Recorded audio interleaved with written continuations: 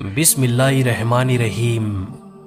प्यारे दोस्तों, अल्लाह तबारक ताला कुरान पाक में इरशाद फरमाता है और हर जान को मौत का जायका चखना है और तुम हमारी तरफ़ ज़रूर लौटाए जाओगे। प्यारे दोस्तों, अल्लाह तबारक ताला ने हर एक इंसान को दो चीज़ों से बनाया है। नंबर एक, रूह और नंबर दो, जिस्म। रूह के बगैर जिस्म कुछ भी नहीं, ये सिर्फ़ एक बेजान पुतला है और रूह के साथ अल्लाह तबारक ताला ने इंसान को ताकत अता फरमाई है। रूह इंसानी जिस्म से कहीं ज़्यादा ताकतवर होती है, लेकिन हर एक इंसान को रूह एक मखसूस मुद्दत तक दी गई है। इस मुद्दत के पूरा होने के बाद रूह को कब्ज कर लिया जाता है, जिसकी वजह जिसकी वजह से इंसान की मौत वाक़ हो जाती है।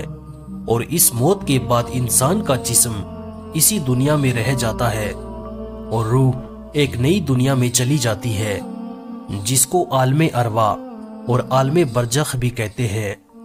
प्यारे दोस्तों, आज की इस वीडियो में हम आपको बताएँगे कि जब किसी इंसान की मौत का वक्त करीब आ जाता है तो मलकुल मौत सलाम उसकी रूह कैसे कब्ज करते हैं और मरने से पहले मौत के वक्त इंसान आलम सकरात में क्या कुछ देखता है? और रूह इंसान के हर हिस्से से कैसे निकलती है? और मलकुल मौत सलाम बच्चों की रूह कैसे कब्ज करते हैं? और मरने के बाद बच्चों की रूहें कहाँ चली जाती है? और उनके साथ क्या सलूक किया जाता है?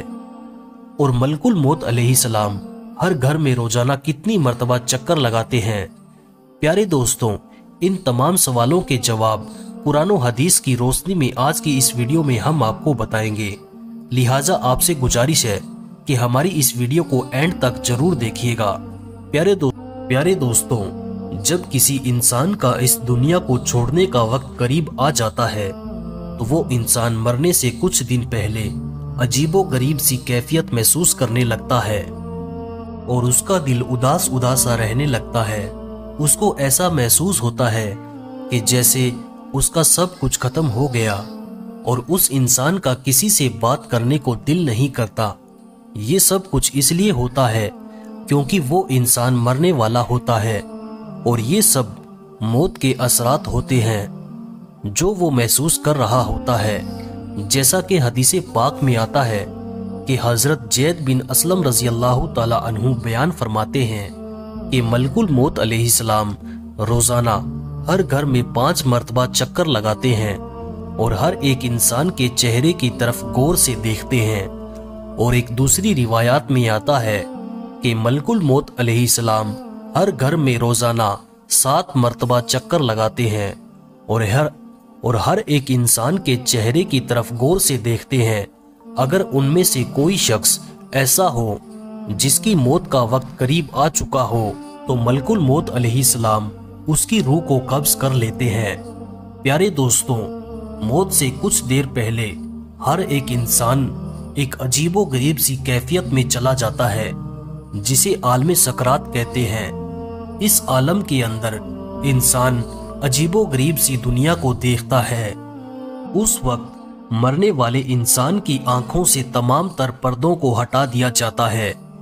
ये वो वक्त होता है जब इंसान अपनी ज़िंदगी में किए गए तमाम तर अमाल को अपनी आँखों से देख रहा होता है कि उसने अपनी ज़िंदगी में कौन कौन से गुनाह किए, कैसे वो अल्लाह तबारक ताला से छुप कर जिना करता रहा, कैसे वो चोरी करता रहा, शराब नोशी करता रहा और किस तरह वो अल्लाह तबारक ताला की नाफरमानियाँ करता रहा, उस वक्त हर इंसान को पैदा होने से लेकर मरने तक उसकी तमाम तर ज़िंदगी दिखा दी जाती है कि उसने अपनी ज़िंदगी कैसे गुजारी।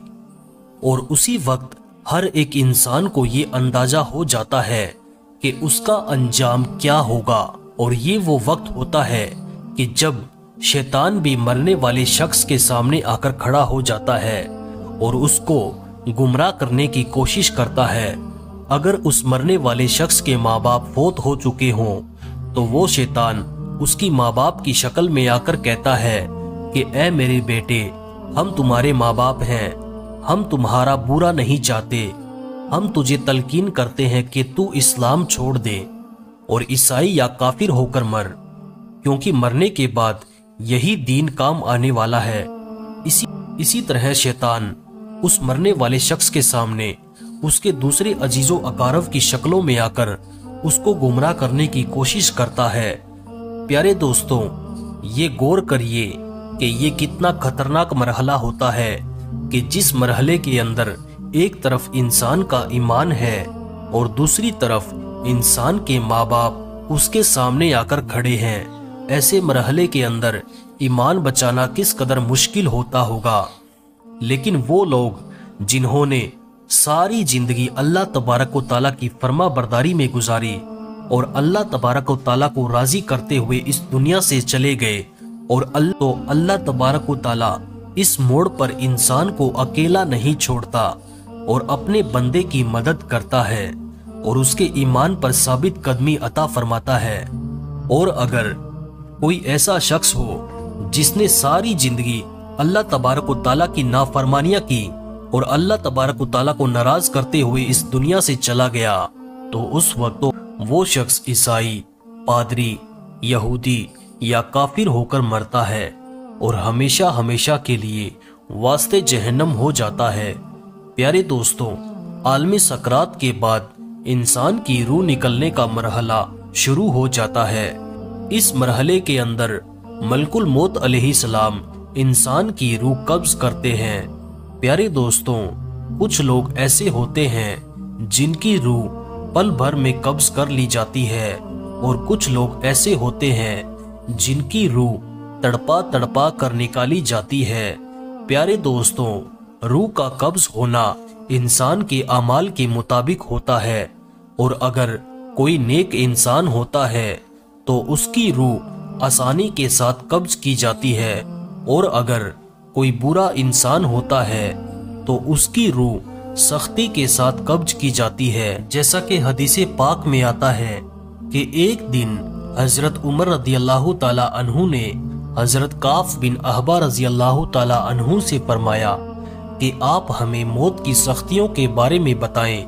तो हज़रत काफ बिन अहबा रज़ी अल्लाह तहु अर्ज़ करने लगे कि, ए अमीरुल मोमिनीन, मौत की सख्ती ऐसी है जैसे कि एक शाख हो, और उस पर बेशुमार कांटे लगे हों, और उस कांटेदार शाख को किसी इंसान के पेट में दाखिल कर दिया जाए, और उस शाख का हर एक कांटा इंसान के पेट की हर रग रग में बेबस्त हो जाए।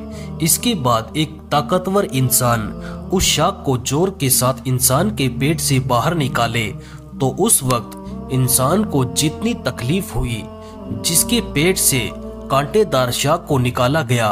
उससे कहीं ज़्यादा तकलीफ़ मौत के वक्त होती है। प्यारे दोस्तों, हुजूर पाक सल्लल्लाहु अलैहि वसल्लम ने इरशाद फरमाया कि मरते वक्त इंसान को जितनी तकलीफ़ होती है, उस तकलीफ़ में से एक बाल के बराबर तकलीफ़ को जमीनों आसमान पर रख दिया जाए तो जमीनों आसमान के तमाम लोग मर जाए। एक दूसरी हदीस में हुजूर अकरम सल्लल्लाहु अलैहि वसल्लम ने इरशाद फरमाया। कि मौत की तकलीफ़ एक हज़ार मरतबा तलवार मारने से ज़्यादा सख्त है। प्यारे दोस्तों, जब किसी इंसान की रूह निकाली जा रही होती है तो उस वक्त मौत की शिद्दत की वजह से इंसान चीखने और चिल्लाने की कोशिश करता है, लेकिन उसकी आवाज़ को बंद कर दिया जाता है और उसका जिस्म इतना कमज़ोर हो जाता है कि वो किसी से मदद भी तलब नहीं कर सकता। प्यारे दोस्तों रूह को सबसे पहले पाँव की तरफ़ से निकाला जाता है। इसके बाद पिंडलियाँ और राने ठंडी पड़ जाती है। इस तरह आहिस्ता आहिस्ता इंसान के हर हर हिस्से से रूह को निकाला जाता है और रूह जब इंसान के गले तक पहुँच जाती है तो ये वो वक्त होता है जब इंसान पर तोबा का दरवाज़ा बंद कर दिया जाता है। इसके बाद किसी भी इंसान की तोबा कबूल नहीं की जाती। इसके बाद मलकुल मौत सलाम मुँह की तरफ़ से रूह को कब्ज कर लेते हैं और इंसान का मुँह खुला का खुला रह जाता है और इंसान की आँखें खुली की खुली रह जाती है। प्यारे दोस्तों, मौत एक ऐसी हकीकत है कि जिससे हर एक इंसान को गुजरना है। फिर चाहे वो बच्चा हो, बूढ़ा हो या जवान, प्यारे दोस्तों, अब बात करते हैं कि बच्चों को मौत किस तरह आती है।